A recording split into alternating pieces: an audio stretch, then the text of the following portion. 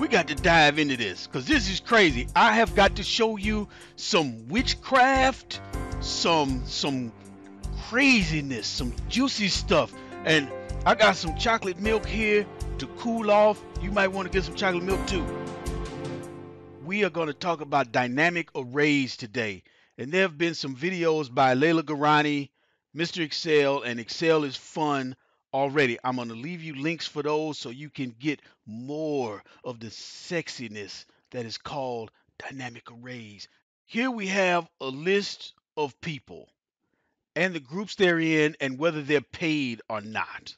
Then we have a list of the people in alphabetical order and their email addresses.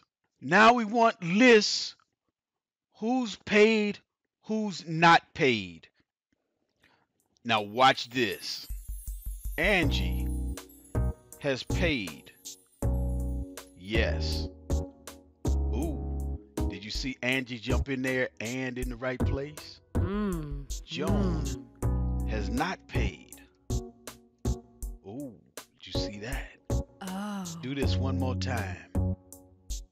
Petros has gone from not paid to paid. Ah. Check that out. Did I use Power Query? Hell no.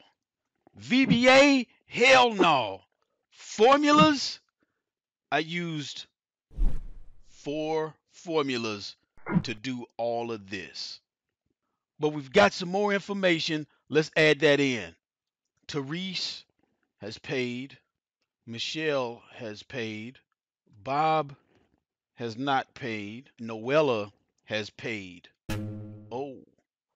Now we've got a spill error. The dynamic array has a blockage. It can't go into areas where there's already data. So I'm going to grab this and drag it down a bit. Oh, Mm. and it's Mm. back. That spill error is gone away. Now let me start showing you what's going on here.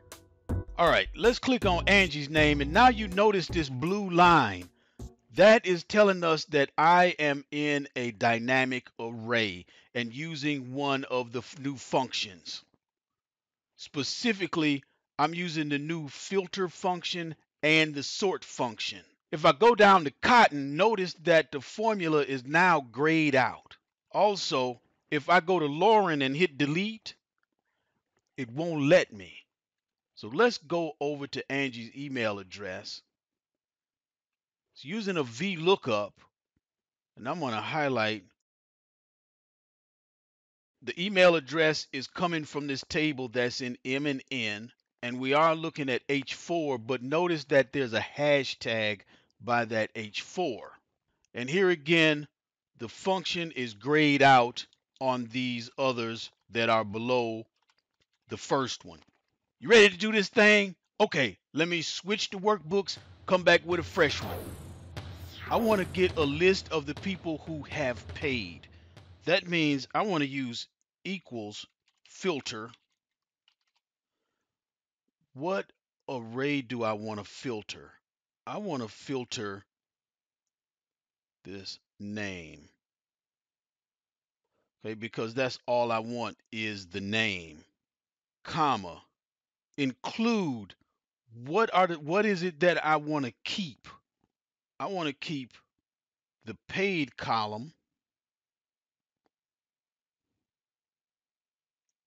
where that equals in quotation marks y. And I'm not worried about empty. So I'm going to close parentheses, scroll up, boom. We've got a list of everybody who's paid. Now let's say that Janelle is paid. Ho, Janelle is in there, but they're all out of order. I want them sorted. Okay, so I'm going to go to this first one that is not grayed out. See, notice the other one is grayed out. Let's go back to Janelle. Sort. Open parentheses. That's already my array. I'm not going to mess with the index out of order. Close the parentheses. Now they're in order. So I'm going to take this formula, right click, copy, go down to not paid, right click, paste the formula, and then I'm going to change this Y to an N. These are the people who are not paid. Now, how do I get the emails? VLOOKUP. And you index match people, don't start your crap today. We're having a good time here. All right? Equals VLOOKUP. I'm going to double click. Lookup value, cotton, comma. Now I want to highlight these two columns.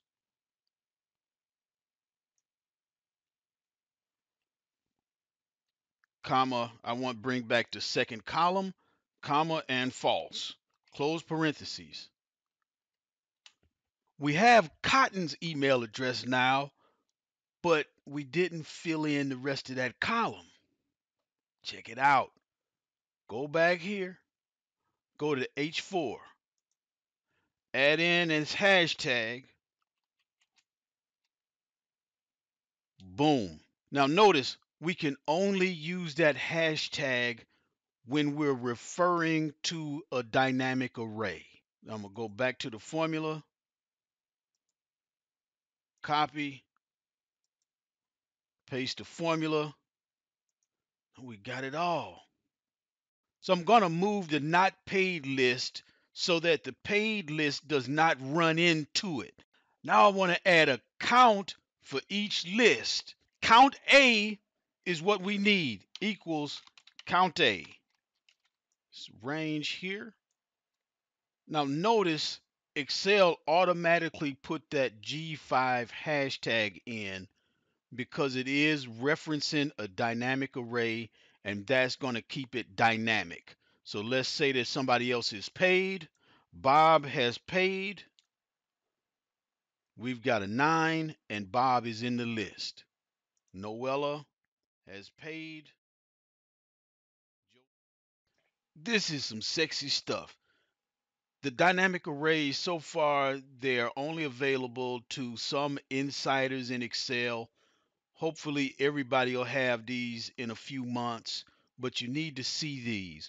Also, they're only available in Office 365. Check it out and see if you have dynamic arrays already in your version of Excel. If not, go to the Microsoft website and see about signing up for the Microsoft Insiders Fast program. Dynamic arrays, y'all. Now you know.